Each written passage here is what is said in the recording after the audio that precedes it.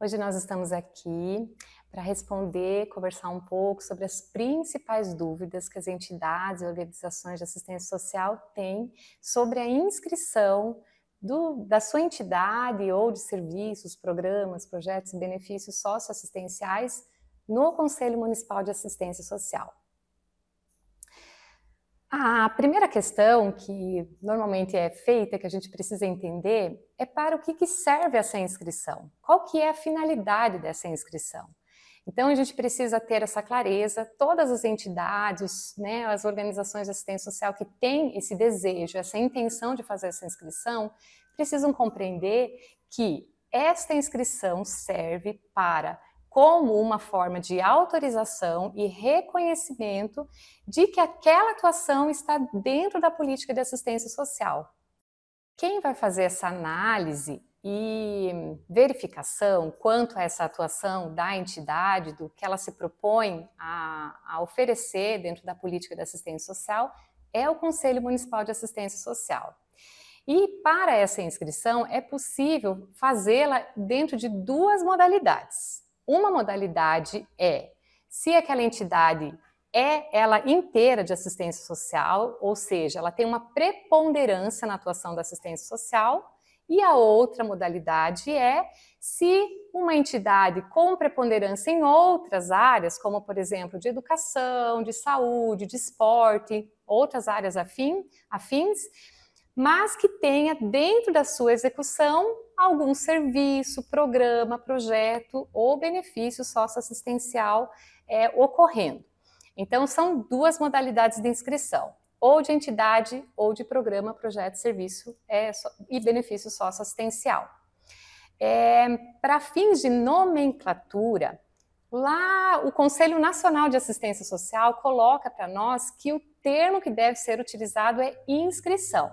Não é cadastro, não é certificação, é inscrição. Então, essa é uma nomenclatura que a gente precisa utilizar, né, tanto nós no Conselho de Assistência Social, como todas as entidades que querem compor essa política nacional de assistência social. Para que o Conselho possa fazer essa análise, ele se vai se pautar em cima das legislações que estão vigentes, legislações norteadoras aí da política de assistência social. É, o Conselho Municipal publicou esse ano uma resolução, que é a Resolução 16 de 2023, onde ele vai detalhar todos os procedimentos que são necessários para essa inscrição. E vai detalhar também as legislações que, sobre as quais o Conselho se pauta para essa análise. Então é muito importante que todas as entidades, né, os técnicos, os profissionais envolvidos nesse processo da inscrição e também da execução desses serviços conheça essas legislações, saiba quais são, né, para que vocês mesmos possam identificar e reconhecer, inclusive, qual é a atividade que vocês executam que se enquadra dentro desses critérios da Política Nacional de Assistência Social. Nós vamos é, fazer a leitura agora dos principais critérios de inscrição que estão previstos na Resolução 16. Todos vocês podem ter acesso, está disponível no site da Prefeitura. E nós vamos nos ater ali ao artigo 3. É, neles constam, então, nove itens de critérios de inscrição. O primeiro critério é desenvolver ações de caráter permanente, continuado e planejado. Então, para que você, entidade, organização de assistência social, queira fazer a inscrição dentro do CMS, é necessário que o que você executa tenha esse caráter. Que não seja uma ação pontual, que seja algo que esteja já acontecendo, é, que, você, que exista um planejamento destas ações, ela não é uma ação simplesmente para atender alguma necessidade ou algum, alguma percepção de uma pessoa específica, né? Ela precisa ser uma ação planejada, que tenha uma continuidade e que seja permanente. Isso são características dentro a nível nacional. Todas essas esses critérios que a gente vai ler aqui, que a gente vai verificar na nossa resolução, são critérios que são previstos a nível nacional. Em todo o país eles estão vigentes e são colocados inclusive pelo Conselho Nacional de Assistência Social também. Então, esse é o primeiro ponto. O segundo ponto é assegurar que os serviços, programas ou projetos que são executados sejam ofertados na perspectiva da autonomia e garantia de direitos dos usuários. Então, autonomia quer dizer você permitir que esse usuário, que a pessoa que é atendida pela entidade, possa tomar as suas, as suas decisões, as suas escolhas e seja fortalecido para que ele se capacite para isso. Então, é muito importante, isso é um critério tanto dos serviços públicos de assistência social como dos serviços ofertados por entidades ou organizações de assistência social. É muito importante que a entidade tenha essa clareza que precisa ser preservada e fortalecida a autonomia do usuário e também que seja um serviço ofertado na perspectiva de garantia de direitos. Né? Então, precisamos ser conhecedores dos direitos existentes. O critério 3 é garantir a gratuidade e a universalidade de todos os serviços, programas e projetos ofertados. Então, os serviços ou o que você deseja fazer inscrição no CMS precisa ser ofertado de forma gratuita. Isso não tem discussão, é um ponto extremamente importante, né? O conselho vai fazer essa análise, vai verificar essa questão. Por quê? Porque a política pública de assistência social, ela deve chegar à pessoa assistida, a quem necessita dela de forma gratuita. Nesse ponto desse critério existe uma única excepcionalidade, que é as instituições de acolhimento de idosos.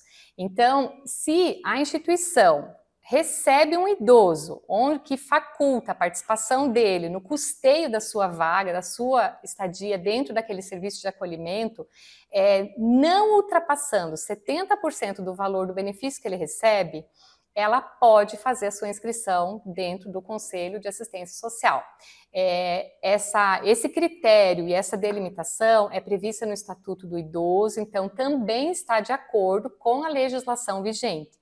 Esse ponto é, é, a única excepcionalidade de uma entidade que pode se inscrever, mesmo tendo um custo para o usuário, desde que ele respeite esse custo, que não ultrapasse 70% do benefício previdenciário que esse usuário esteja recebendo, para que ele possa custear ali a vaga do acolhimento institucional.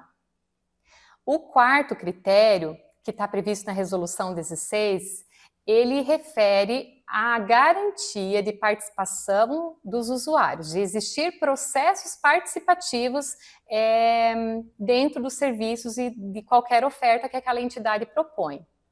Cada critério desses que a gente está conversando aqui, tentando esclarecer um pouquinho mais para vocês, ele, eles vão estar tá previstos de alguma forma dentro do requerimento e dentro do plano de ação que vocês vão depois compreender um pouquinho melhor com a explicação do outro conselheiro.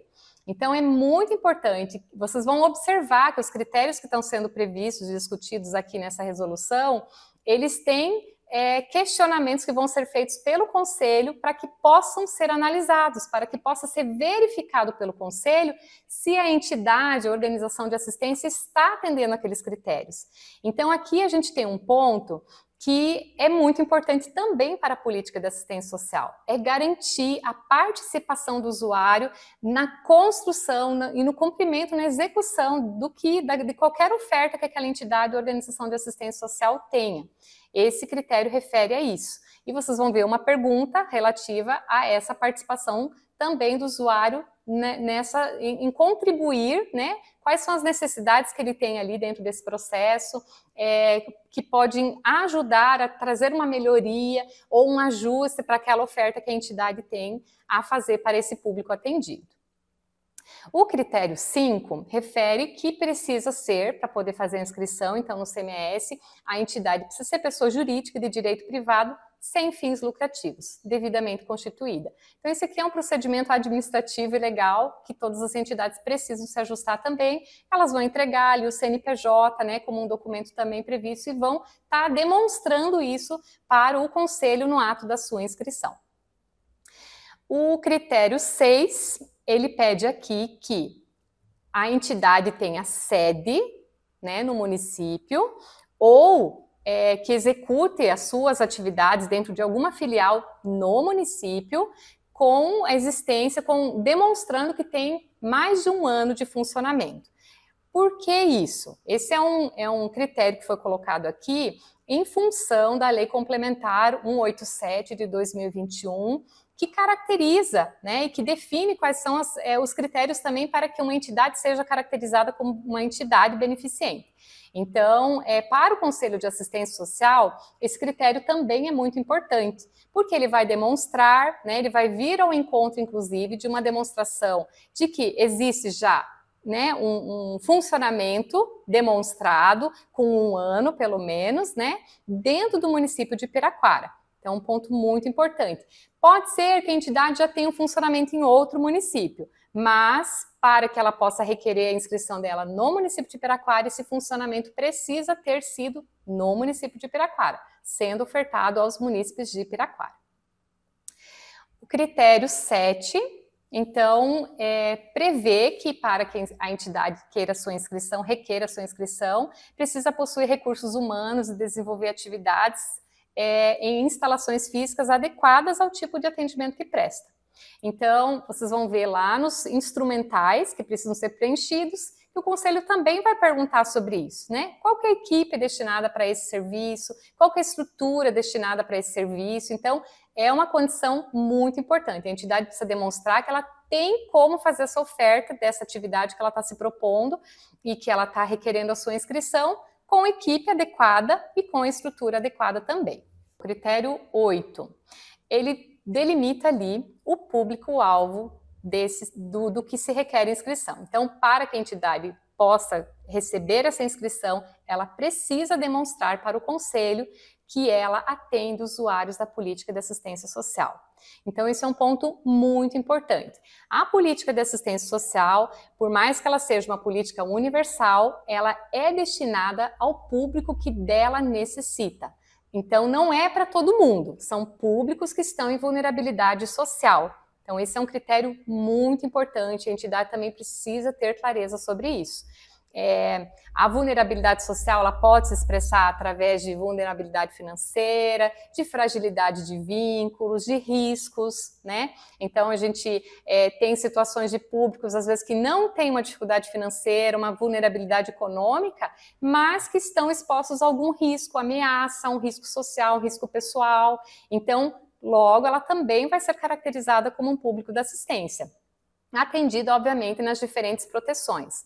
Então, esse é um ponto muito importante que a entidade tenha essa clareza também de que ela está atendendo o público da assistência. O último critério, o nono, então, é o critério que coloca que a entidade precisa atuar em conformidade com as normativas vigentes no âmbito da assistência social.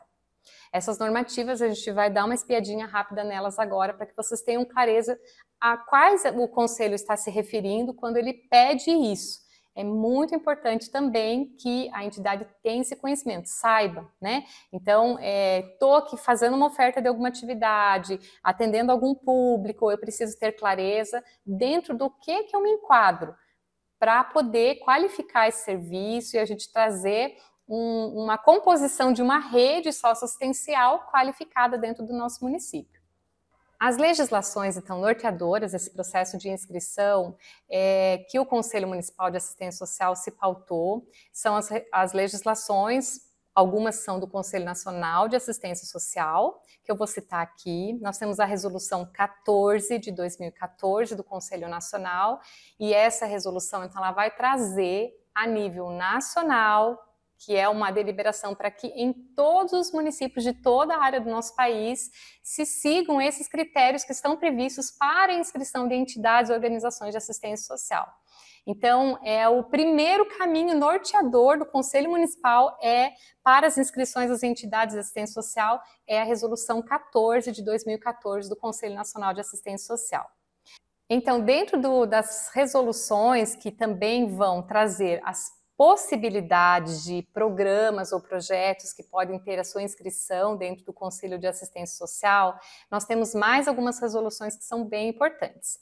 A resolução 27 de 2011 do CNAS, Conselho Nacional de Assistência Social, é a resolução que vai tratar da questão de ações de assessoramento e garantia de direitos A resolução 33 de 2011 também do CNAS, ela vai tratar de ações de integração do mundo do trabalho. A resolução 34 do mesmo ano, 2011, do CNAS, ela vai tratar é, de uma especificação de, é, de ações de habilitação e reabilitação de pessoas com deficiência. Então, são resoluções que é, vão dar outras possibilidades para entidades terem a sua inscrição dentro do CMAS que não sejam uma, uma a, é, compatível ali com a resolução é, que trata da tipificação dos serviços né, que a gente vai ter a resolução 109. Essa já é uma resolução de 2009, né, e ela vai tratar especificamente da tipificação dos serviços socioassistenciais. O que, que é isso? Né? Tipificação é, ela vai dar, ela vai tipificar, ela vai mostrar como que deve ser organizados também em todo o território nacional os serviços públicos da assistência social vai prever ali quais são os serviços que só podem ser executados por órgãos estatais, né? E também outros serviços que estarão tipificados. Vou citar aqui como exemplo o serviço de convivência e fortalecimento de vínculos. É um serviço que está tipificado, é um serviço socioassistencial que um CRAS deve ofertar, né? Que um órgão público deve ofertar, mas que pode ser executado em uma parceria com uma entidade. Né? Então, a gente pode estabelecer parcerias né, para que é, o CRAS possa encaminhar é, usuários, pessoas que necessitam desse serviço até a entidade, conforme for a proposta que ela tem. E por isso também é muito importante a inscrição no CMS, estar devidamente inscrito. É, então, é, caso a entidade entenda, reconheça que ela presta um serviço tipificado, que são esses serviços que dividem né, a, toda a lógica da assistência social em proteção social básica e proteção social especial, e dentro da, da básica vai ter aquela qualificação de serviços, dentro da especial vai ter outra qualificação de serviços, né? Então, caso a entidade entenda que ela compõe os serviços tipificados, ela vai buscar estabelecer, fazer a sua marcação lá no requerimento e lá no plano de ação, dentro dessa marcação dos serviços tipificados. Caso ela entenda que ela não se enquadra dentro dos serviços tipificados, mas sim de algum programa, projeto ou, servi ou benefício socioassistencial, ela pode verificar dentro dessas resoluções que eu citei em qual resolução ela se enquadra. Né? Então é muito importante essa busca, essa compreensão do que é que você, como entidade, está ofertando e, e enquadrando e alinhando ela com o que essas resoluções trazem. Então, além dessas resoluções que vão é, estabelecer que possibilidades de serviços que existem que podem ser inscritos, nós vamos ter também uma resolução que trata é, da norma operacional básica de serviços humanos, é, de recursos humanos, do SUAS, que é a resolução 17, é, 17 de 2011, e a, 2, a 269 de 2006. Então, essas resoluções, elas vão estabelecer qual é a equipe de referência para cada serviço tipificado.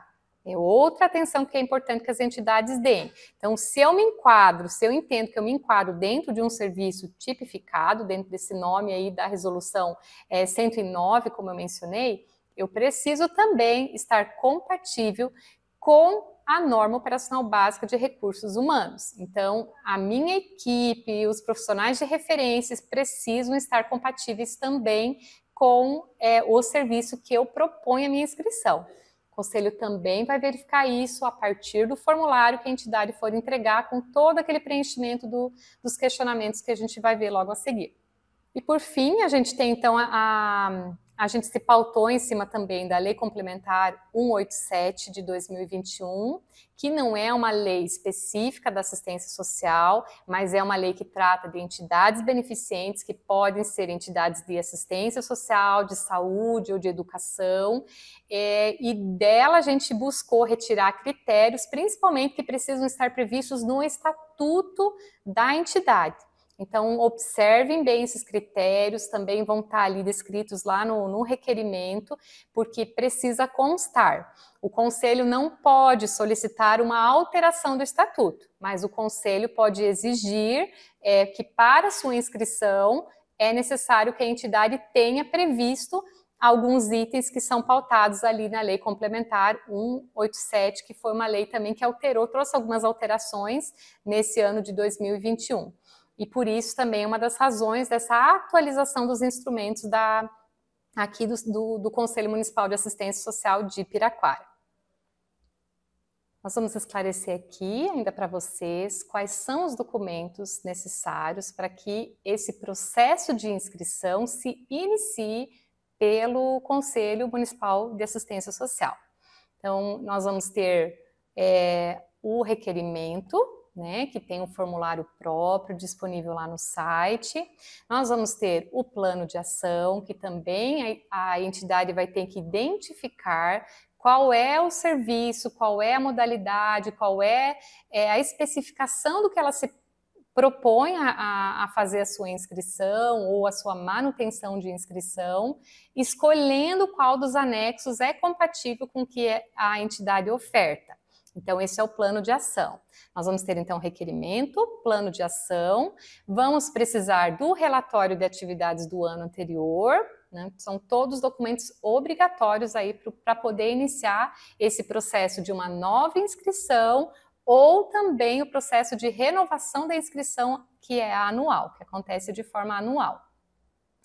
É, além desses três formulários né, que a entidade precisa preencher, o Conselho também solicita é, comprovante de inscrição em outros conselhos ou outros CMAS. Então, se você tem uma inscrição em outro município, você pode anexar essa inscrição, sinalizando para o conselho desde quando, no que, é, qual que é a inscrição que tem lá, qual que é a, a modalidade que tem inscrito no outro município é obrigatório também que apresente a ata do é, desculpa, a ata de eleição e posse da atual diretoria, é um documento obrigatório, precisa ter o registro em cartório, pode ser uma cópia, mas ela precisa ter o registro em cartório. É, conselho também exige a cópia do estatuto social registrado em cartório, né? Pode ser uma cópia que vai ser apresentada aqui junto com essa documentação toda o CNPJ, que é o comprovante de inscrição no Cadastro Nacional de Pessoas Jurídicas, né, uma cópia do CNPJ, a cópia do alvará de funcionamento, cópia do alvará ou licença sanitária e cópia do alvará ou licença dos bombeiros. Olá pessoal, tudo bem com vocês? Então, hoje eu estou aqui para falar com vocês a respeito do, da inscrição, né, e da, do documento de inscrição e de renovação de inscrição das OCS, né, que são as organizações da sociedade civil. Então você, né, que é, é técnico de uma entidade ou que representa uma entidade, você vai estar junto com seus técnicos elaborando esse documento para o Conselho de Assistência Social estar tá apreciando e fazendo uma avaliação da tua entidade. Né? Mas aonde que está esse documento? A gente disponibilizou esse documento no site do Conselho de Assistência Social, que está dentro do site da Prefeitura de Piraquara ok? Então, ó, você entrando no site da prefeitura, né, na parte superior ali vão ter algumas, algumas opções, né, que você vai passar o cursor do mouse, né? Tem ali a cidade, a prefeitura, legislação, publicação, turismo e transparência. Você vai na opção ali a prefeitura, vai abaixar com o teu cursor do, do o teu cursor do mouse até secretarias e você vai selecionar ali e clicar na Secretaria de Assistência Social, certo? Uma vez ali na Secretaria de Assistência Social, no, no, na página da Secretaria de Assistência Social, no canto esquerdo, né, vai ter uma coluna com algumas opções ali, institucional, secretaria, equipe. Aí você vai rolar lá para baixo e você vai até onde diz conselhos municipais. Ali em conselhos municipais você vai procurar o nosso site, que é o site do CMAS, que é o Conselho Municipal de Assistência Social, e vai clicar ali. Fazendo isso, você vai estar na página do Conselho de Assistência Social de Piraquara, né?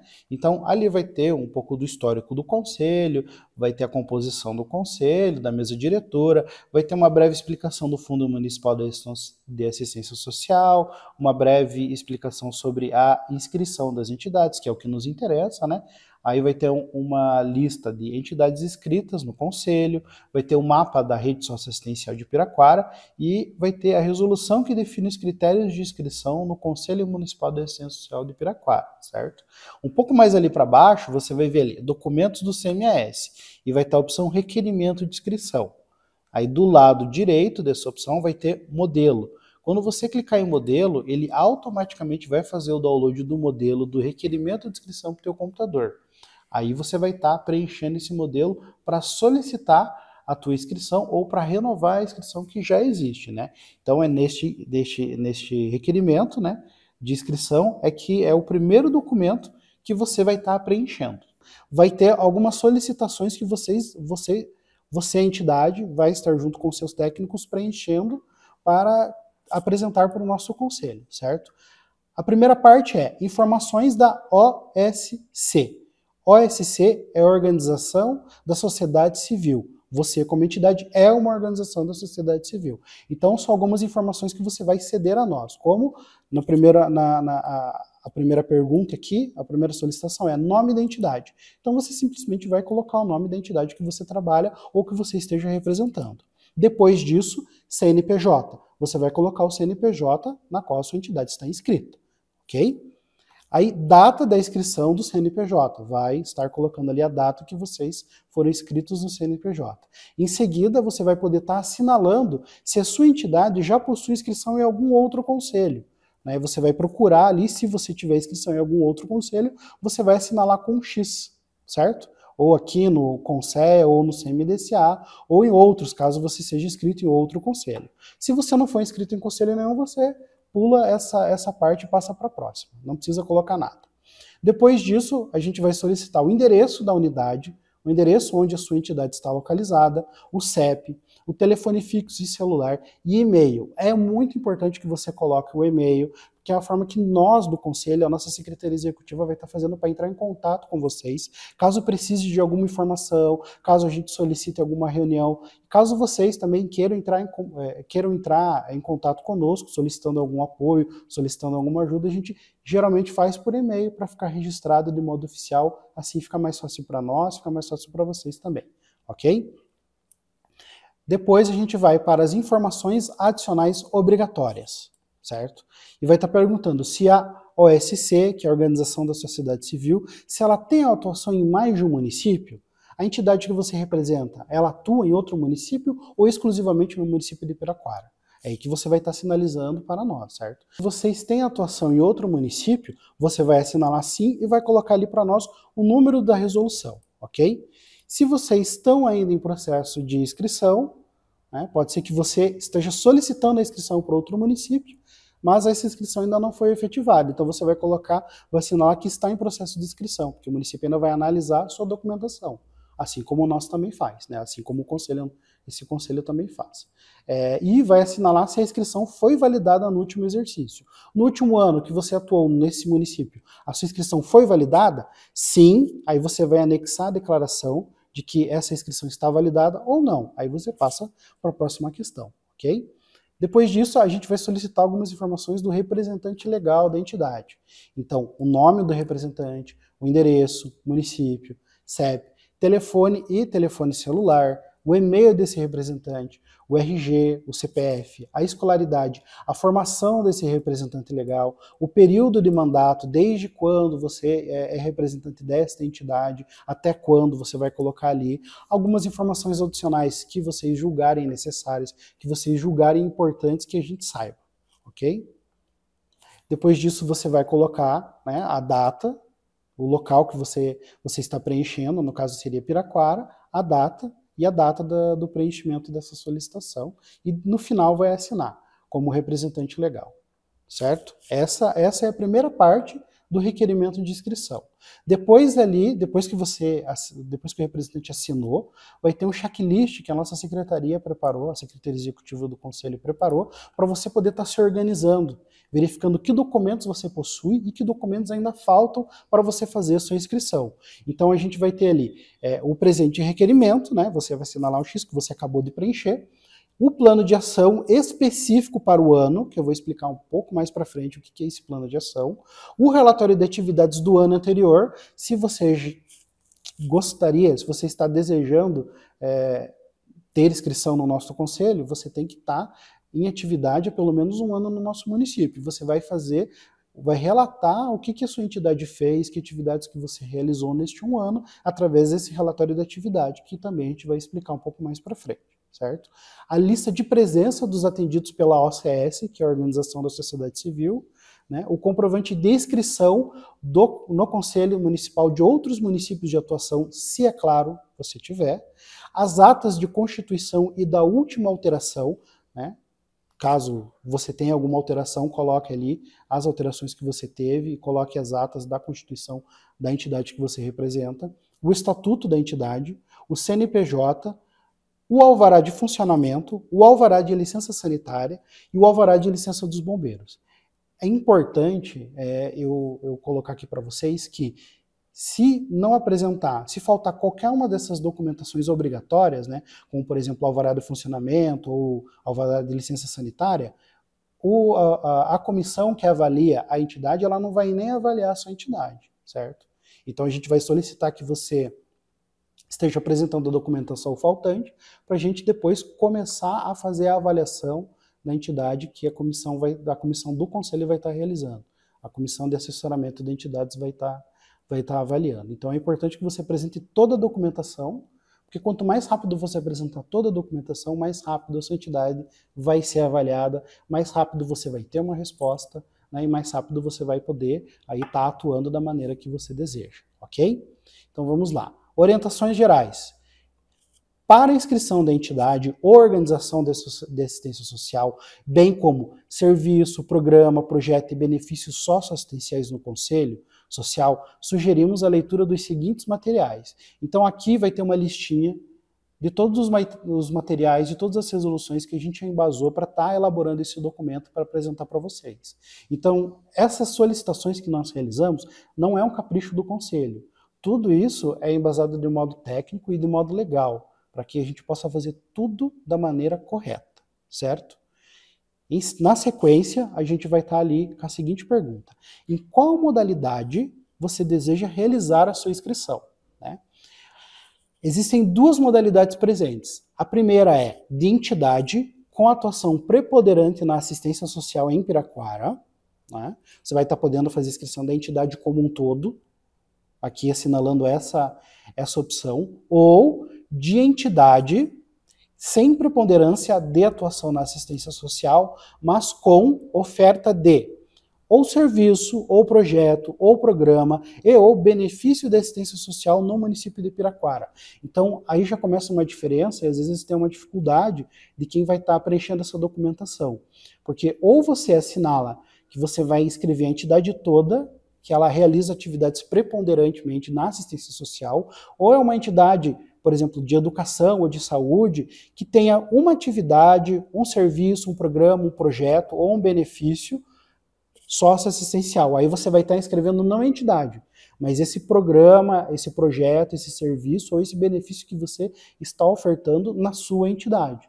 Então, preste atenção no que você vai estar inscrevendo, porque se você é uma entidade que apresenta uma atividade preponderantemente de educação, você não tem como estar se inscrevendo como entidade de assistência social. Você vai escrever um benefício, ou projeto, ou programa ou serviço que você executa, ok? Certo? Vamos lá para a observação 1. A exigência para considerar-se entidade e organização de assistência social no item A deste instrumento de inscrição no Conselho Municipal da Assistência Social é a pessoa jurídica de direito privado, sem fins lucrativos, que atue de forma preponderante na assistência social, ou seja, que tenha assistência social como atividade econômica principal no seu Cadastro Nacional de Pessoas Jurídicas do Ministério da Fazenda. Foi o que eu acabei de explicar, mas agora de maneira mais técnica, certo? Então, se você tiver atividade preponderante na assistência social, você vai ter esse cadastro né, você vai ter esse registro no Cadastro Nacional de Pessoas Jurídicas, do Ministério da Fazenda. Observação 2. As entidades ou organização que não atuem de forma preponderante na assistência social, mas que desenvolvam serviços, programas, projetos e ou benefícios socioassistenciais, também deverão inscrever no Conselho Municipal de Assistência Social seus serviços, programas, projetos e benefícios socioassistenciais. Observação 3. As ações de assistência social que sejam desenvolvidas por entidades ou organizações de assistência social deverão ser desenvolvidas de forma gratuita, continuada, permanente e planejada, conforme o artigo 2 inciso 1 da Resolução 14 de 2014 do Conselho Nacional da Assistência Social. Observação 4. Se a entidade ou organização de assistência social possui sede em algum município e não realiza nela oferta de serviços, programas, projetos, benefícios socioassistenciais, não cabe a inscrição nesse município. A inscrição da entidade ou organização deverá ser feita no Conselho Municipal de Assistência Social do município onde realiza oferta dos serviços, programas, projetos ou benefícios socioassistenciais. Certo? Parte 2 finalidades estatutárias. Sobre o Estatuto Social vigente, assinalar a seguir as previsões expressas no documento da Organização da Sociedade Civil, indicando os números dos artigos onde constam cada uma delas. Então, o que, a gente vai estar pedindo aqui?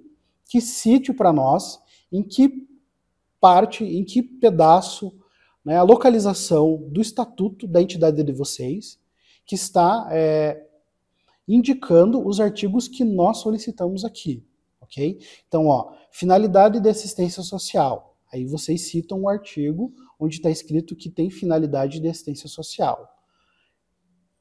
B. Que aplicará suas receitas, rendas, rendimentos e o eventual superávit apurado em suas demonstrações contábeis integramente no território nacional, na manutenção e no desenvolvimento de seus objetivos institucionais. Aí vocês sinalizam para nós o artigo onde está escrito isso daí. C. Que aplicará as subvenções e doações recebidas nas finalidades a que estejam vinculadas. Também citar o artigo. D.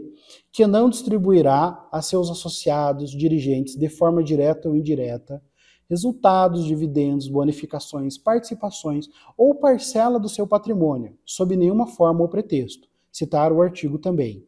E que destinará, em caso de dissolução ou extinção, o eventual patrimônio social remanescente para entidade e organização de assistência social congênere, devendo o estatuto estabelecer que seja obrigação da entidade beneficiada possuir inscrição no Conselho Municipal de Assistência Social, Conselho Nacional de Assistência Social e, na falta desta, a entidade pública municipal, também citando o artigo. F que a diretoria terá mandado por período determinado, com a possibilidade ou não de sua reeleição, observando-se os princípios constitucionais. Também citar o artigo. Ok? Aí, no fim, anexar a cópia do estatuto vigente registrado em cartório de registro civil de pessoas jurídicas nos termos da lei, com a identificação do cartório e alteração quando houver descrever as finalidades conforme previsão no Estatuto Social vigente. Aí, observação número 1. Um, os itens previstos acima são pautados na Lei Complementar número 187 de 2021 e na Resolução 14 de 2014 do Conselho Nacional da Assistência Social. Observação 2. Para a inscrição neste Conselho, é necessário que estejam contempladas no seu estatuto cada uma das previsões citadas da linha A até a linha F. Então, vocês precisam indicar para nós todas as solicitações aqui que a gente fez, preciso citar para nós o artigo em que elas estão, para que a gente possa conceder e começar a avaliar a inscrição de vocês. Aí, três, né, a, a, a, solicitação 3, breve histórico da entidade. Então, é para vocês descreverem como que a entidade nasceu, quais os marcos importantes, como que ela evoluiu ao longo do tempo, um breve histórico, assim, bem curto mesmo, de no máximo umas 20 linhas, de forma resumida, explicando para nós, como um todo, né? Como que funciona a sua entidade. Não importa qual for a sua, a sua opção de inscrição, certo? Você vai colocar da sua entidade como um todo ali. E depois, no 4, os objetivos da entidade, né? Descrevendo para nós os objetivos principais da entidade que você está representando. A pergunta 5 é: a entidade tem fins lucrativos? A gente já pautou lá anteriormente que não pode ter fins lucrativos, mas a gente sempre gosta de estar tá revisando essa, essa, essa solicitação para ficar bem claro e bem explícito aqui para todo mundo que nenhuma entidade inscrita no Conselho Municipal da Assistência Social pode ter fins lucrativos, ok? 6. Quais as fontes de recursos da entidade toda referente ao ano anterior? Então vocês vão estar tá colocando ali, né, independente da modalidade de inscrição de vocês, vocês vão estar tá colocando ali para nós todos os recursos que vocês tiveram, da onde eles vieram, o valor deles do ano anterior. Né? Então vocês provavelmente vão ter essas informações, né? Na entidade de vocês vão estar sinalizando para nós da onde vêm esses recursos, certo? E daí a gente vem com o plano de ação, que é o nome do programa, né, ou projeto, ou serviço, ou benefício, né? Então vamos para a modalidade de descrição agora, ok? Primeira observação. Para cada serviço, benefício, projeto, programa assinalado a seguir, deverá ser preenchido um plano de ação específico conforme anexos indicados. Então, o que, que a gente está dizendo aqui? Né? Vamos pensar que é, você tem uma entidade que é, presta vários serviços para a comunidade, você assinalou aqui vários serviços né, que você presta. Para cada X que você vai fazer aqui na sequência, você vai ter que apresentar um plano de ação específico. Ok? Então, assim, se você assinalar quatro serviços, você vai ter que apresentar quatro planos de ações. Se você assinalar um serviço, vai apresentar um plano de ação. Então preste muita atenção para vocês não assinalarem mais do que vocês estão fazendo e também nem menos do que vocês fazem. É importante que vocês indiquem para nós, para o conselho, exatamente aquilo que vocês estão realizando na, na entidade de vocês. Ok? Eu vou estar lendo aqui com vocês agora. 7.1, né, referente a atendimento, conforme a resolução 109 de 11 de novembro de 2009 trata da tipificação nacional dos serviços socioassistenciais. Então, os serviços que eu vou estar lendo agora, eles se referem à proteção social básica. São serviços que os CRAS, o CRAS, né, que está perto da casa de vocês, ou CISAS, no caso aqui da cidade de Piraquara, realizam ou deveriam realizar, certo?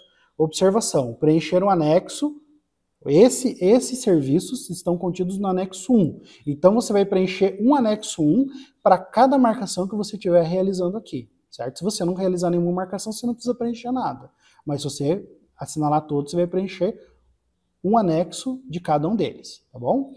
Tá. Serviço de convivência e fortalecimento de vínculo para crianças, adolescentes, idosos e outros. Serviço de proteção social básica no domicílio para pessoas com deficiência e idosas. Benefício eventual. Serviço de proteção e atendimento integral à família, PAIF, somente para órgãos públicos. Essa, sina essa sinalização aqui é somente para somente os órgãos públicos vão estar realizando. Ok? Aí a gente vai passar para os serviços sociais, serviço social especial de média complexidade, da mesma maneira que a gente fez anteriormente. Só que esses serviços eles estão contidos no anexo 2 que a gente já vai explicar essa, essa questão dos anexos para vocês. Mas eles estão contidos no anexo 2. Então, para cada marcação que você sinalizar aqui, você vai ter que preencher também um plano de ação, vai ter que preencher um anexo 2 específico para cada marcação que você estiver realizando, tá bom?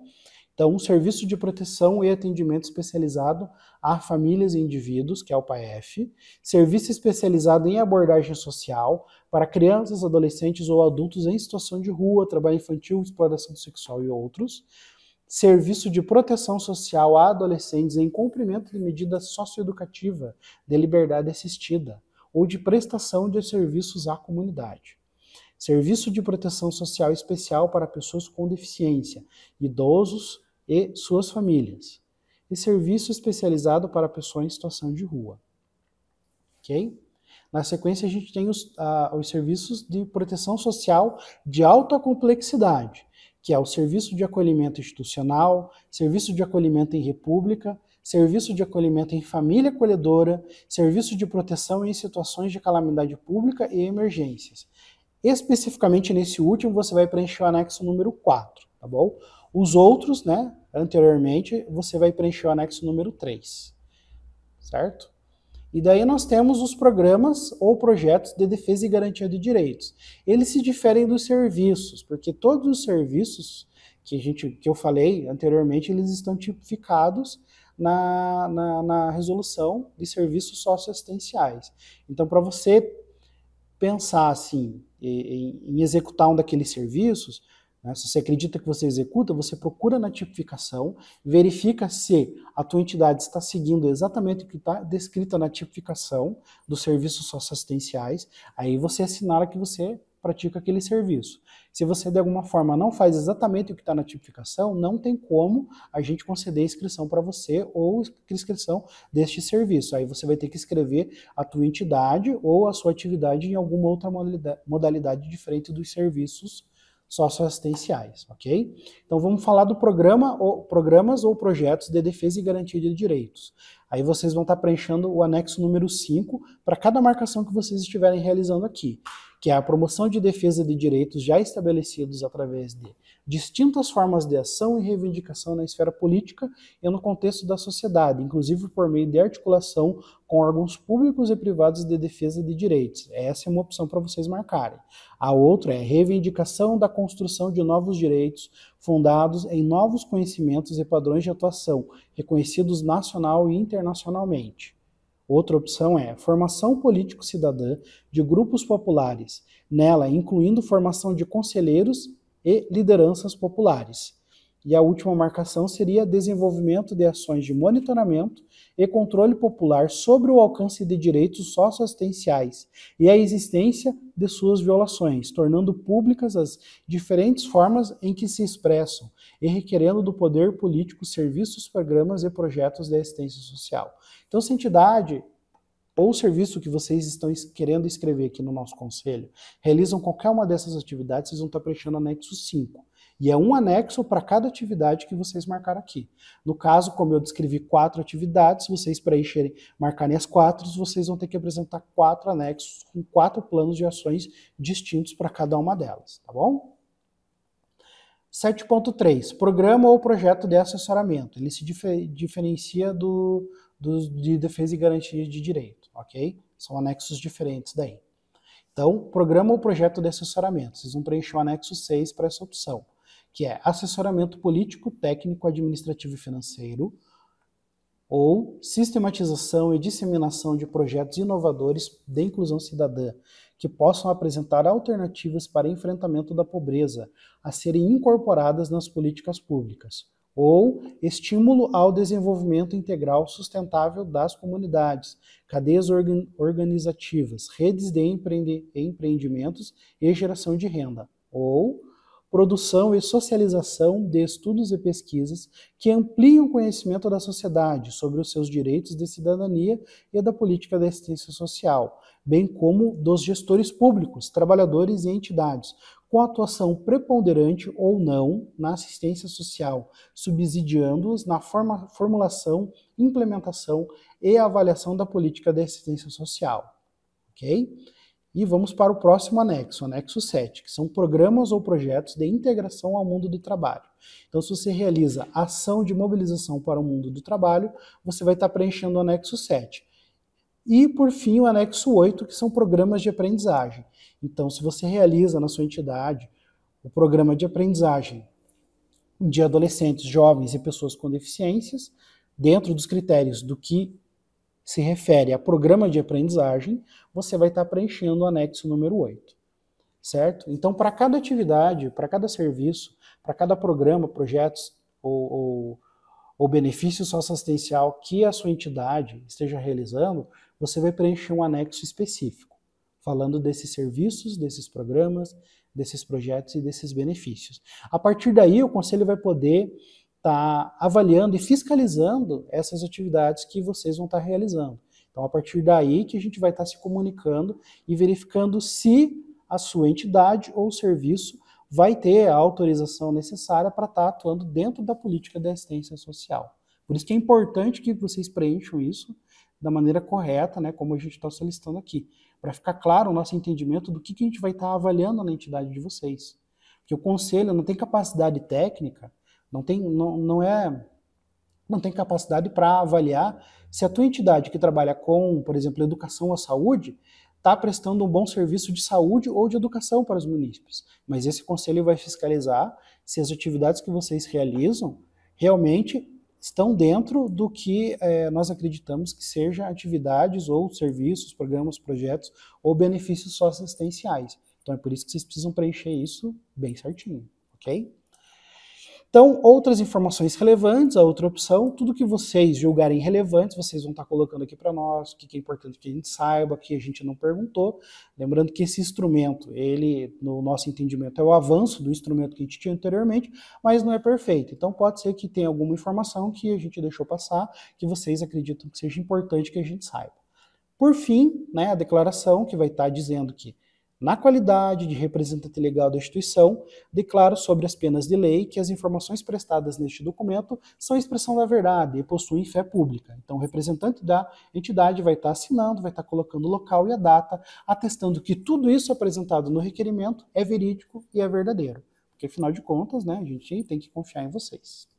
Então, é essa é a primeira parte, né, é, é sobre o requerimento de inscrição. Então agora a gente vai estar tá falando um pouquinho de, dos anexos, de como a gente vai estar tá preenchendo esses anexos, certo? A gente separou dois anexos, não vamos falar de todos porque são oito, e eles são muito repetitivos. Então a gente vai estar tá falando de um anexo que é de serviço, e outro anexo que é de outra modalidade, que não é serviço, que pode ser um projeto ou um programa, tá bom? Então, né, a gente vai estar falando do anexo 1 aqui, né, que é um serviço de proteção social básica, está dentro da proteção social básica. Dentro da proteção social básica são vários serviços que ela pode estar prestando, né? A gente vai estar falando um pouquinho de como vocês vão estar preenchendo esse anexo 1, caso vocês executem algum dos serviços descritos aqui, que estejam embaixo, né? Estejam no bojo da proteção social básica, tá bom? Então, o anexo número 1, que é o plano de ação para o ano que vocês vão estar executando a, a atividade de vocês. Né? Então vocês vão colocar ali o ano, vocês vão receber esse formulário, ele vai estar com 4x marcado no ano, vocês vão colocar no ano que vocês vão estar solicitando a inscrição. Não é do ano anterior, é do ano vigente, tá bom?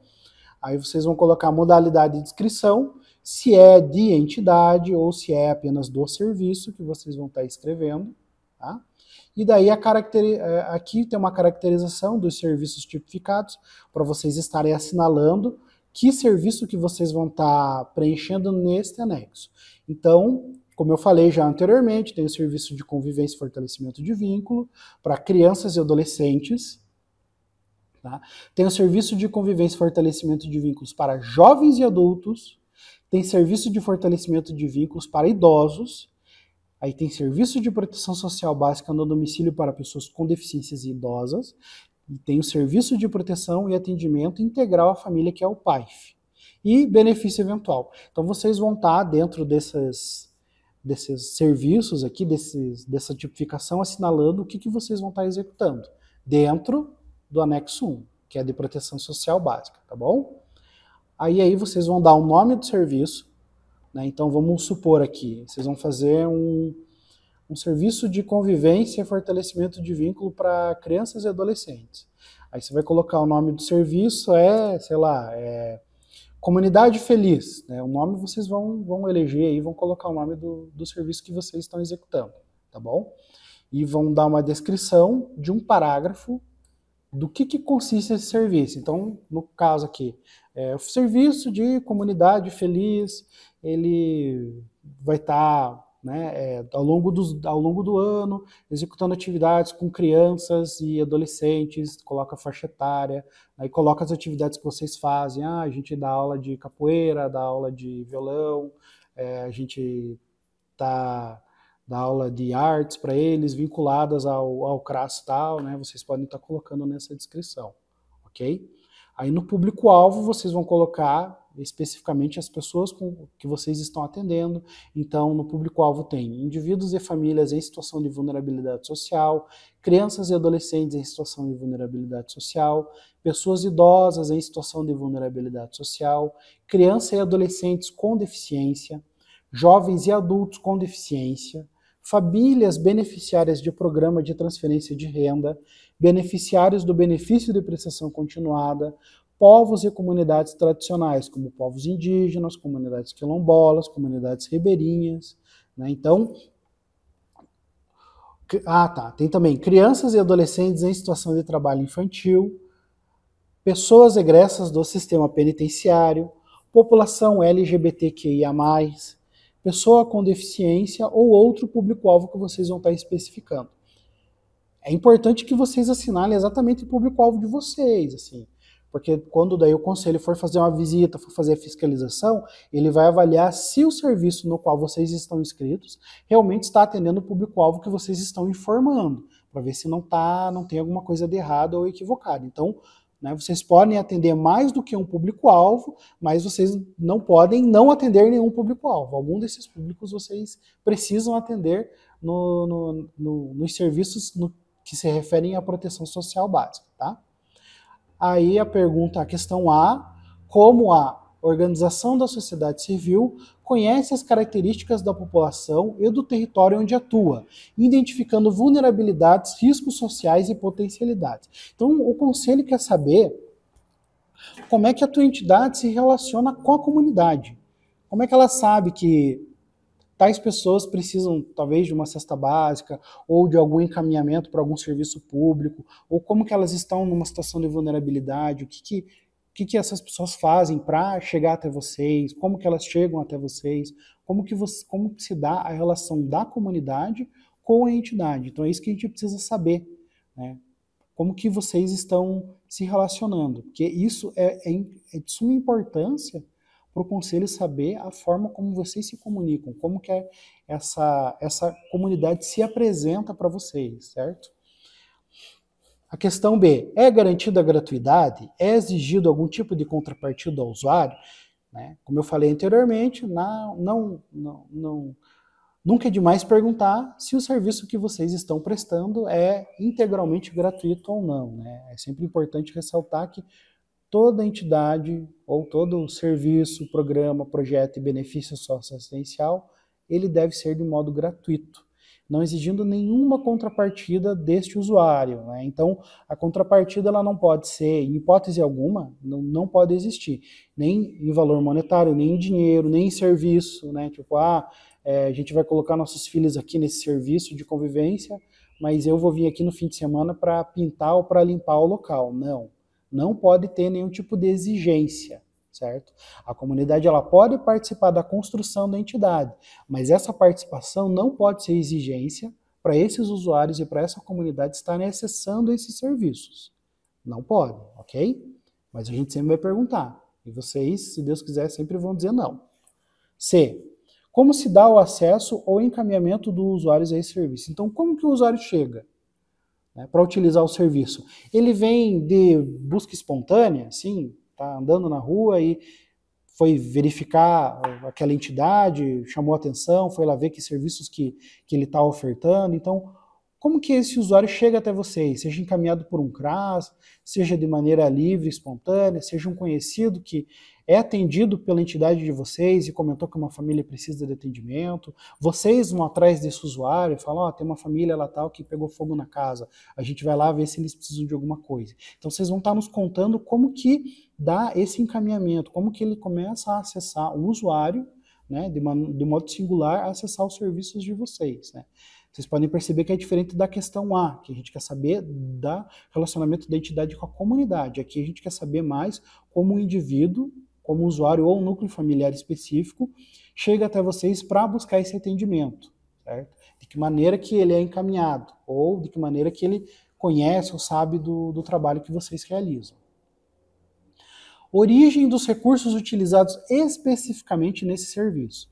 Então aqui é, tem bastante a gente tem bastante dúvida no preenchimento, né? Algumas entidades têm dúvida em relação ao preenchimento dessa parte aqui do plano de ação, porque a gente vai precisar saber dos recursos utilizados apenas neste serviço descrito neste plano de ação. Então você não vai colocar aqui para nós os recursos da entidade toda. Você vai, vai colocar os recursos que você utiliza para executar a tarefa descrita nesse plano de ação. Vamos supor que você, sei lá, é, esteja escrevendo aqui um benefício de cesta básica. Aí você distribui 100 cesta básica e gasta, sei lá, por mês, e gasta, deixa eu ver, 100 cesta básica dá o quê? Uns 60 mil reais por, por mês, mais ou menos isso.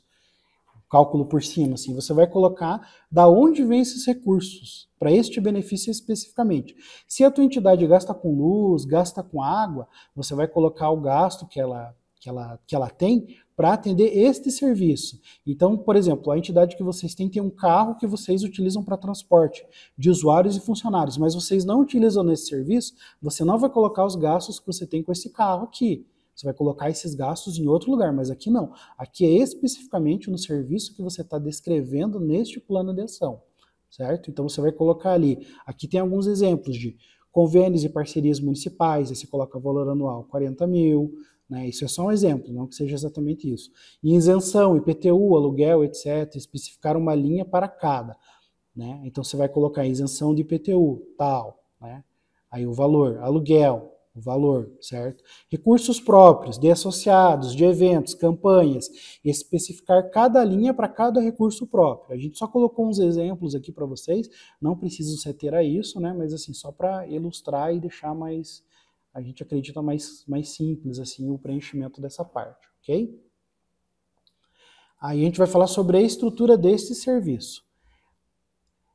De modo parecido com o tópico anterior, que é a origem dos recursos, vocês vão estar utilizando aqui, vão estar descrevendo aqui para nós, a estrutura que vocês estão utilizando para prestar o serviço que vocês estão inscrevendo neste anexo. Então você não vai precisar colocar o espaço físico da tua entidade toda. Você vai colocar o espaço físico e os recursos que vocês utilizam, como computador, é, não sei, é, é, é cozinha, fogão, geladeira, do serviço que vocês estão prestando, não de tudo que está na entidade. A gente quer saber como fiscalizar, como verificar, como orientar este serviço, não a entidade toda. Então, por isso que a gente está pedindo deste serviço do plano de ação, tá bom?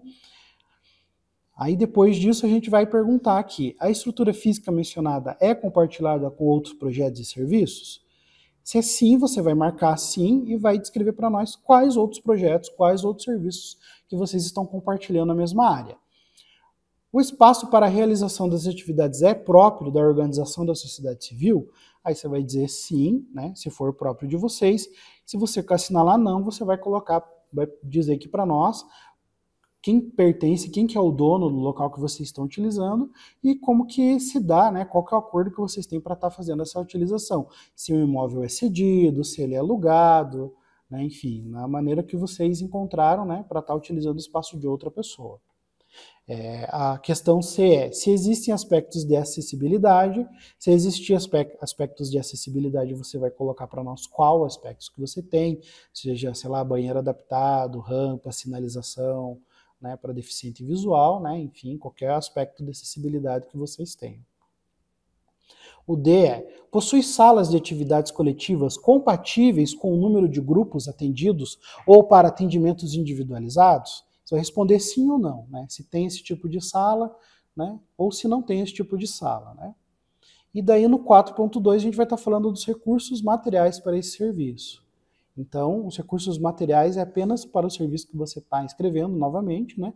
Então, você vai colocar os materiais permanentes e os materiais de consumo. E aqui tem uma explicação, assim, bem simples, sobre a diferença entre material permanente e material de consumo. Né? Material permanente é, é tudo aquilo que você está é, utilizando, né, como mobiliário, computador, impressora, e que ele não vai você não vai ter um desgaste muito rápido ao longo do tempo, né? Tudo que você utiliza aí que dura mais do que um ano, né? A gente pode, pode pensar dessa forma. Né? Aí você vai estar colocando a quantidade desses materiais que você utiliza para esse serviço. Aí a questão A dessa, dessa, dessa solicitação é: existem veículos disponíveis para execução deste serviço? Sim ou não? Se sim, descrever quais, exceção de uso exclusivo para esse serviço ou se são compartilhados. Aí a, a, próxima solicitação é sobre materiais de consumo. Qual o tipo de material de consumo principal para a realização da proposta? A organização da sociedade civil possui material de consumo suficiente para a realização da proposta? Vocês vão estar respondendo isso para nós. Você oferece lanche para os participantes? Vai responder sim ou não. Se sim, explique quando e como. Então, né, que horas que você oferece lanche, que lanche que é, tem algum acompanhamento nutricional, se não tem, né? como que vocês decidem aí o que, que vocês vão estar ofertando de lanche para os usuários de vocês, né? se vocês ofertam, é claro, então vocês vão estar explicando isso aí para nós aqui, tá bom? A parte 5 fala, pergunta sobre recursos humanos utilizados no serviço. Né? Então a gente vai estar falando do gestor e do coordenador do serviço, Daí você vai colocar o nome completo, a escolaridade, que pode ser médio superior ou superior com pós-graduação, o curso que ele tem, ou, enfim, às vezes pode não ter, né? E registro de conselho de classe, se for o caso. Qual é o vínculo desse gestor? Se ele é seletista, se ele é voluntário, né? quantas horas ele de, dedica das horas dele para este serviço. Você vai colocar ali para nós, tá bom? E daí a equipe de referência de nível superior de serviço. Alguns serviços não possuem, é, como benefício, não vai possuir essa, essa solicitação de referência para nível superior, mas a maioria dos serviços eles possuem. Então vocês vão estar colocando aqui qual que é a equipe de referência que vocês têm. Né? No caso, geralmente precisa de no mínimo um assistente social, uma assistente social e uma psicóloga. Aí você vai colocar o nome, a formação, o cargo que ocupa, o registro de classe, seja o CRES para assistente social ou o CRP para psicólogo, e o vínculo que esse profissional tem e as horas que ele se dedica a este serviço. Né? Então, seu trabalho, se você tem um psicólogo que trabalha 40 horas e dedica 10 horas para o serviço que você vai estar escrevendo aqui, você vai colocar que ele dedica 10 horas aqui. Não vai colocar a carga horária total que ele tem na entidade de vocês, entenderam? Depois a gente vai, vai solicitar a equipe de referência de nível médio e fundamental do serviço. De forma parecida com o de nível superior, você vai colocar o um nome, a formação, o cargo que ocupa no momento, o vínculo e as horas. Né? Vale ressaltar que assim, a formação, a pessoa pode ser uma pessoa formada em nível superior e pode estar exercendo uma atividade ou um cargo, uma função de nível médio ou fundamental. Né? Isso não tem problema. Né? Então, você coloca a formação dela, sei lá, fulano é pedagogo, mas aqui nesse serviço ele atua como motorista. Isso não tem problema. Mas só para a gente saber que funcionários, qual que a equipe está envolvida nesse tipo de atendimento que vocês estão escrevendo aqui, certo? Então, vocês podem estar colocando aqui daí para nós bom?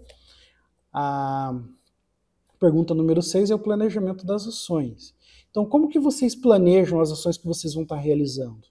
Né? Existe algum período de interrupção das atividades? Se sim, como isso ocorre?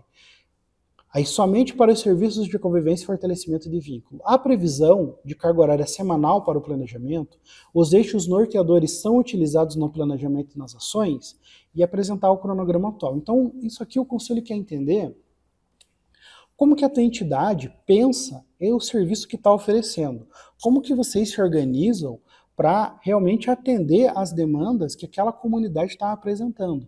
Então, assim, simplesmente falar que vocês vão jogar bola com as crianças na quadra, né, pode ser um serviço de convivência e fortalecimento de vínculo se houver um planejamento, né, se houver uma, uma avaliação da situação daquelas crianças, daquelas famílias, né, se a gente precisar, se, se a gente, se vocês pararem, pensarem e, e, e chegarem à conclusão de que esse serviço precisa chegar a algum lugar.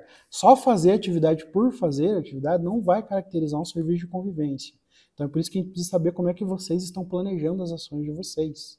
Até para a gente, de alguma forma, poder orientar, né? ou poder solicitar apoio técnico de algum outro equipamento da assistência social. Né? Porque a gente vai entender que vocês estão compondo com a gente compondo com, com, as políticas públicas aqui do município. Então, por isso que é importante a gente entender como que se dá esse planejamento.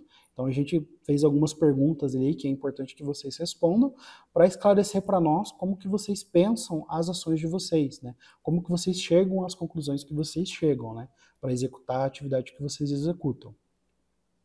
Aí vocês vão estar, depois disso, descrevendo as ações desse serviço. Depois de tudo isso, vocês vão nos contar o que, que esse serviço faz.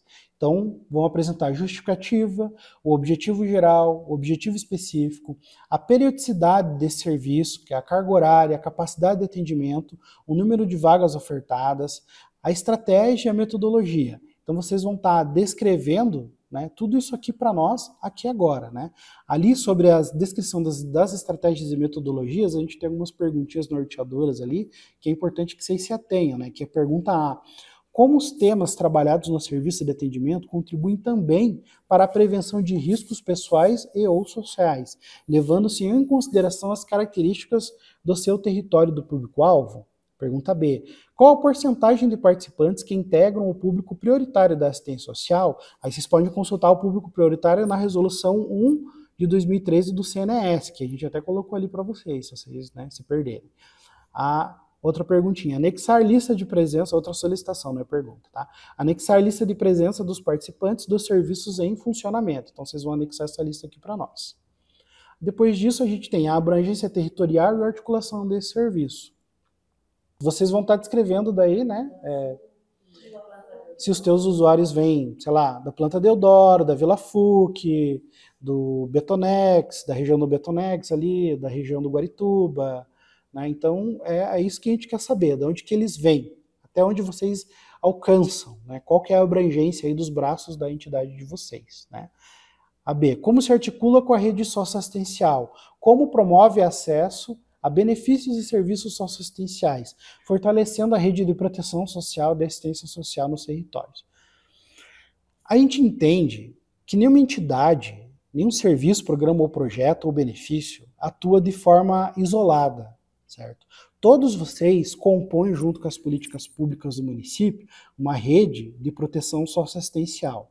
A gente quer saber aqui como que vocês se comunicam com essa rede fazem parte de, de, de, das reuniões de rede que acontecem, fazem parte de algum conselho, tem algum técnico de referência de algum CRAS que se comunica com vocês? A gente quer saber isso. Como que vocês atuam junto com a política de assistência social? É isso que a gente quer saber nessa pergunta. Então, C. Todos os participantes do serviço de atendimento são referenciados ao CRAS e CREAS? Se sim ou não. Né? E qual CRAS e qual CREAS. No caso do Piracora, você pode colocar de algum CIS aqui também. Tá? E o técnico de referência. Então, assim, você vai estar escrevendo aqui no caso um plano de ação para um serviço. Todo serviço tipificado vai ter um técnico de referência, certo? Não importa se é do CRAS, do CIS ou do CREAS. Aí você vai colocar aqui se para qual CRAS e qual CREAS o teu serviço de atendimento tem referência e o técnico que ele está tá atendendo, né?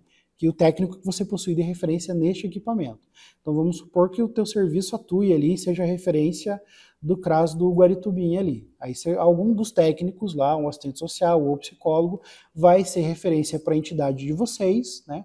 vai ser referência para o serviço de vocês e vocês vão estar assinalando aqui. Então, obrigatoriamente, se você está escrevendo um serviço, tem que ter um técnico de referência do município. Se não tem, você procura o CRAS, o CREAS mais próximo, o CISA mais próximo do teu, da tua entidade, né? E você fala lá que você presta tal serviço e que você precisa de um técnico de referência. É isso que você vai fazer. Na verdade, já deveria ter feito isso, né? Mas enfim.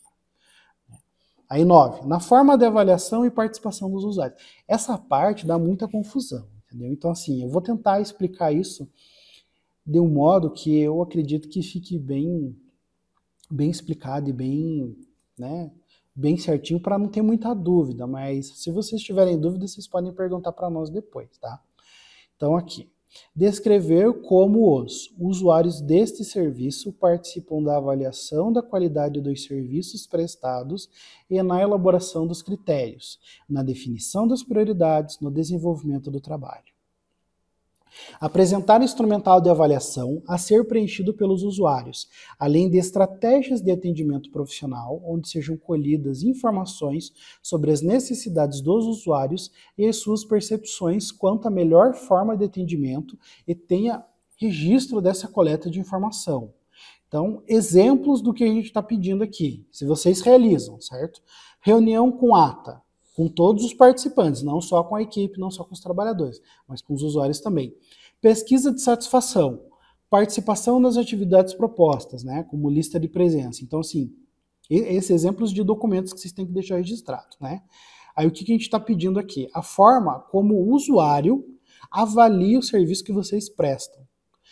Então, se tem alguma reclamação, se tem alguma queixa, se tem algum elogio, se tem alguma exigência, como que a entidade, né, como que vocês acessam esse usuário, acessam essas necessidades para melhorar o serviço, ok? Isso que a gente precisa saber aqui. Não é como eles acessam o serviço, é como o usuário que já acessou o serviço pode opinar para que esse serviço fique melhor, que atenda melhor a comunidade, consequentemente, melhor a ele mesmo, certo? Então, isso que a gente quer saber aqui, como que esse usuário participa da, da avaliação do serviço que vocês estão prestando, tá bom? E a décima é monitoramento, que a gente vai estar pedindo para descrever como este serviço é monitorado e avaliado pela equipe da própria unidade por órgãos externos. Quais os instrumentos utilizados para o registro das informações e atendimentos? Então aqui vocês vão estar né, é, nos informando qual instrumento que vocês têm para fazer esses registros, para coletar esses dados. A Secretaria aqui Municipal da Assistência Social e os equipamentos que compõem a Secretaria possuem um instrumento chamado RMA, que é o Registro Mensal de Atendimento.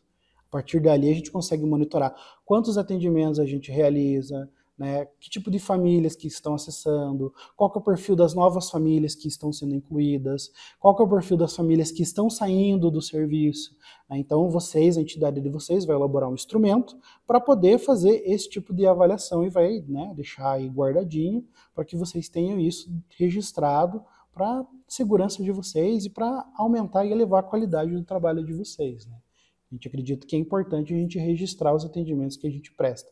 Até para saber se a gente está conseguindo prestar um bom atendimento ou não, né? E 11, a declaração, né? Parecida com a do do requerimento de inscrição, que vai estar escrito assim: na qualidade de representante legal da instituição, declaro sob as penas de lei que as informações prestadas neste documento são expressão da verdade e possuem fé pública. Aí o representante legal da instituição vai estar assinando, colocando a data e o local da assinatura, né? Então, declarando que tudo isso aqui é verdade, ok? Então, esse aqui foi o anexo 1, o primeiro anexo, né? Que fala sobre serviços da proteção social básica. Os outros anexos referentes a serviços, eles vão funcionar de forma parecida. Vai mudar alguma descrição ou outra, mas basicamente tudo que eu pedi ali no anexo 1, eu vou estar pedindo também nos outros anexos. E vocês vão estar preenchendo. Então, se vocês sabem preencher o anexo 1, eu acredito que vocês não vão ter dificuldade nenhuma de preencher o anexo 2, o anexo 3 ou o anexo 4. Não, acho que anexo 1, 2 e 3 só, o anexo 4 não.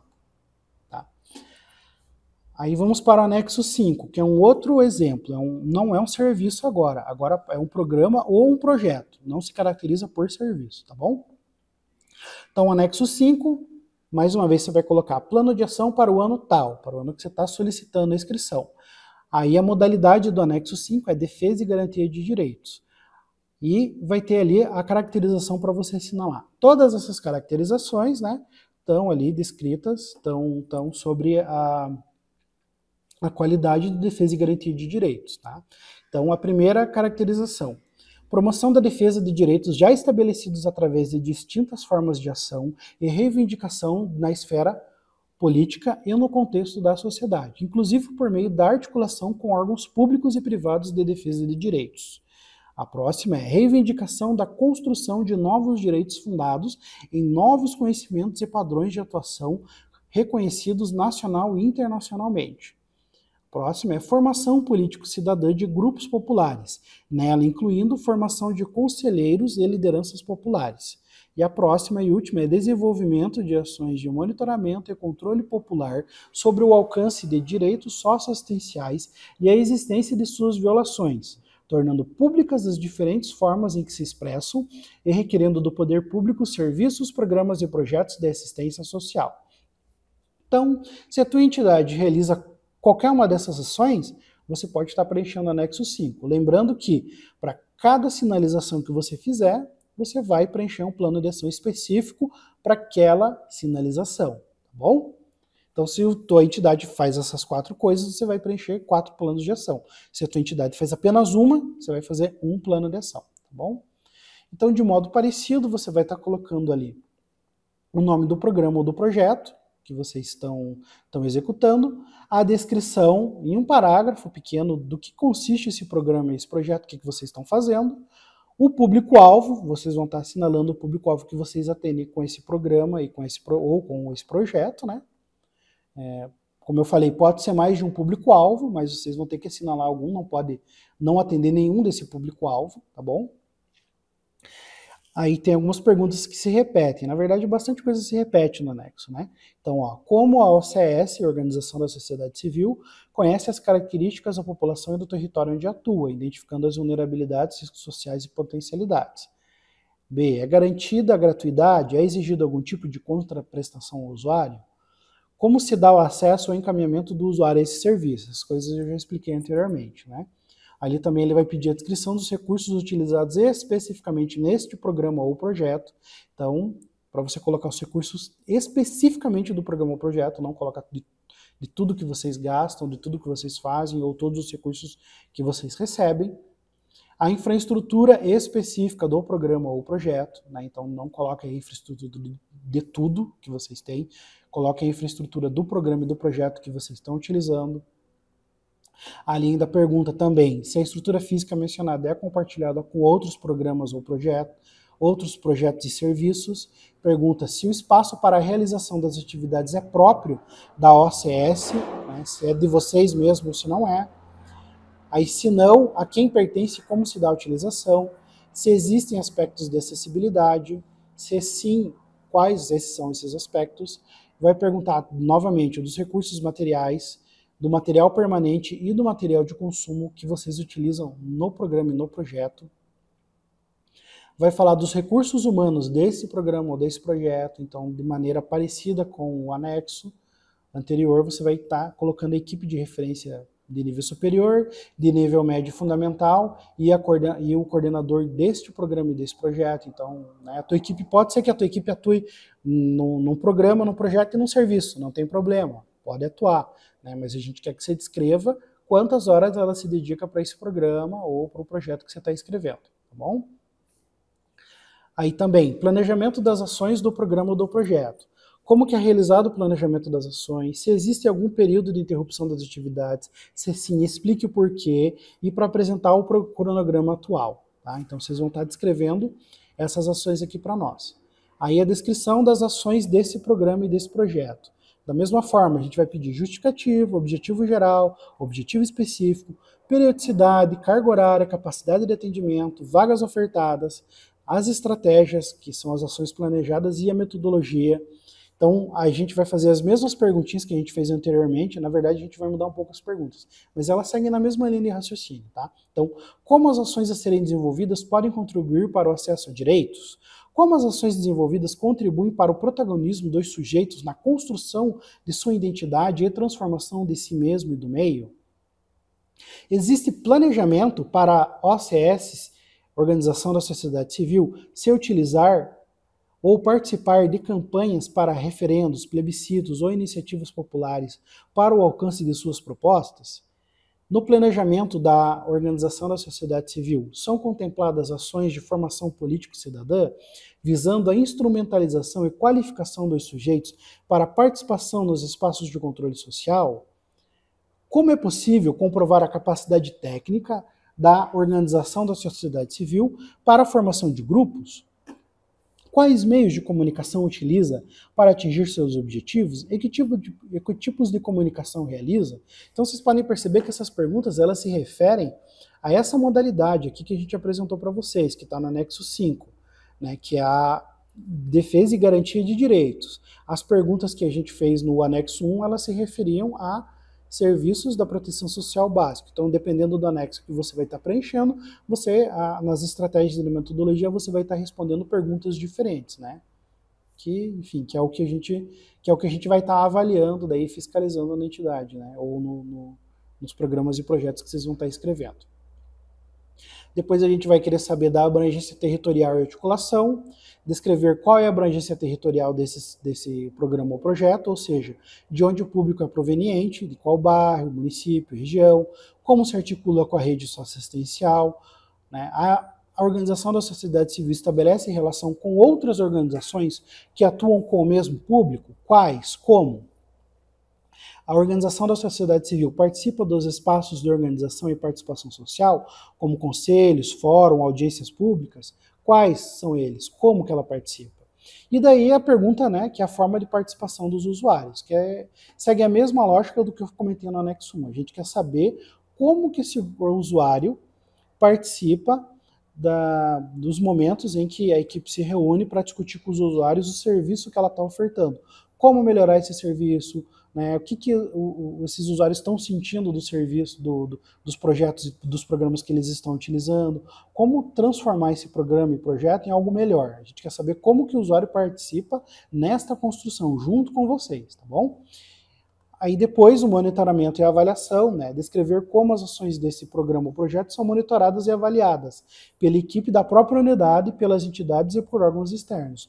Quais os instrumentos utilizados para o registro das informações? O que, vocês utilizam para você estar tá registrando né, o que vocês estão fazendo? Isso que a gente está perguntando aqui.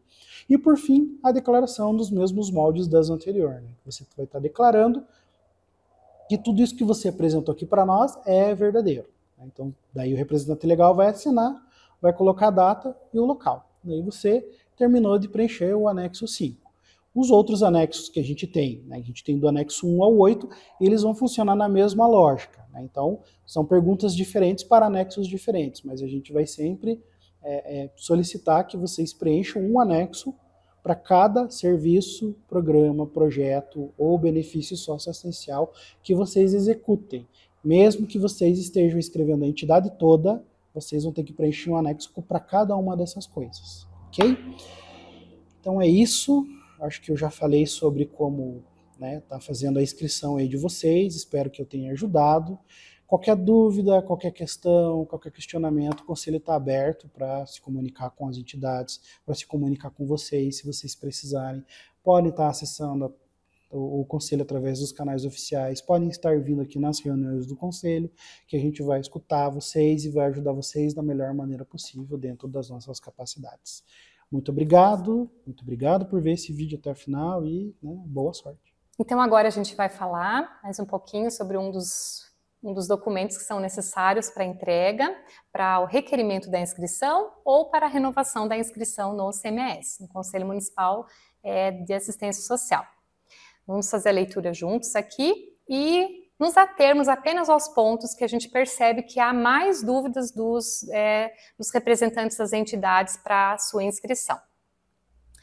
O relatório de atividades é referente ao ano anterior, certo? Então, é a demonstração se você atingiu o plano de ação que você propôs, se você já tem a inscrição, ou a demonstração de que você já executa as atividades que você se propõe à inscrição. Primeiro item ali refere, então, a essa identificação da organização ou da entidade, né?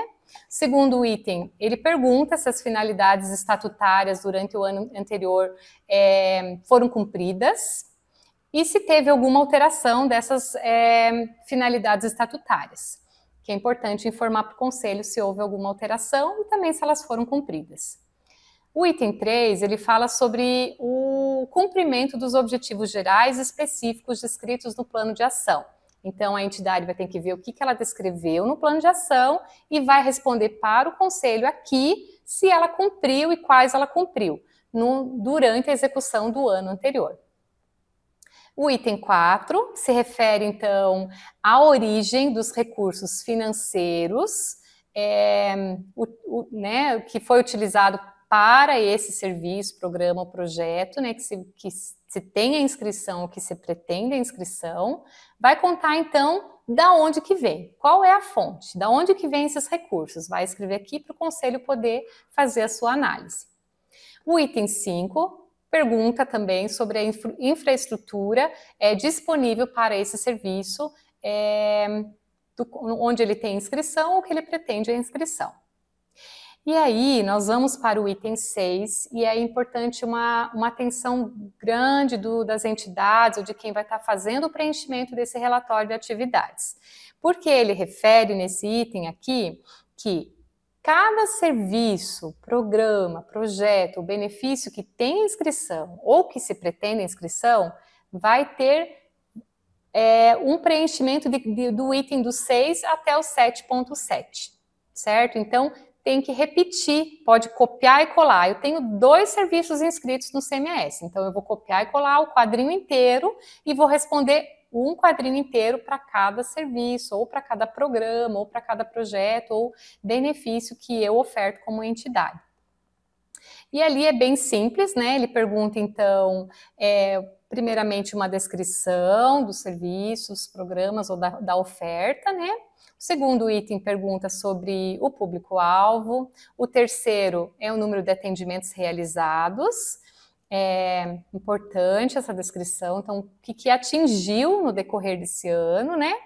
E o número de usuários atendidos. Então, às vezes, eu vou fazer vários atendimentos para o mesmo usuário.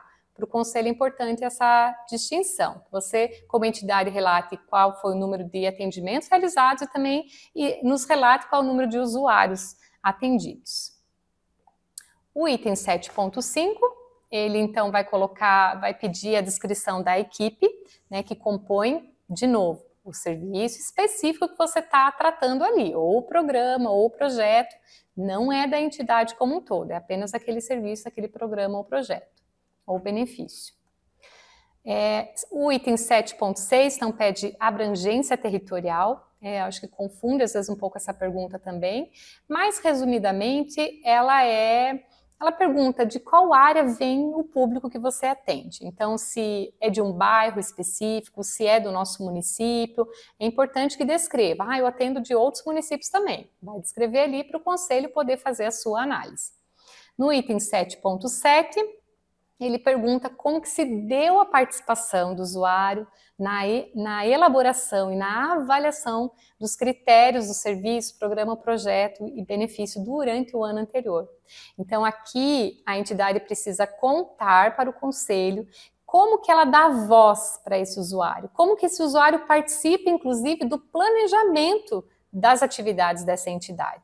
Ela é uma questão muito importante para o conselho, porque ele vai mostrar essa, esse processo participativo e vai mostrar o processo de construção da autonomia também desse usuário.